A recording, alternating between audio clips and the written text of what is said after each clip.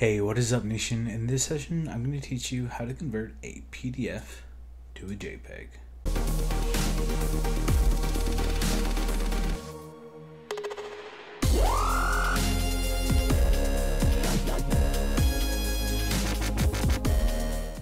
There's more than one way to convert a PDF to a JPEG.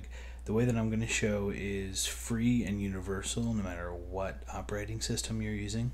I'm on this website called cloudconvert.com. Uh, this is a company that is recommended by Google for converting files, so it's pretty safe.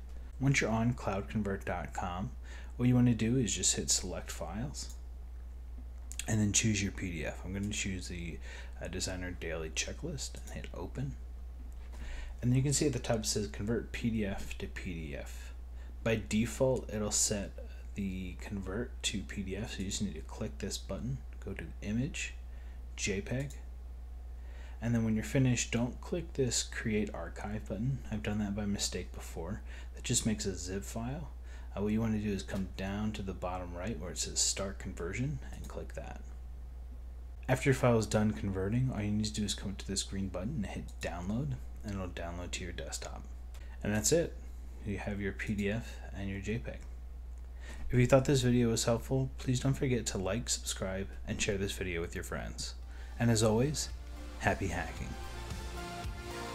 All right, designers, just because this episode of Designer Hacks is over doesn't mean we're leaving you out in the cold. Tony's got tons of great content available at designerhacks.com.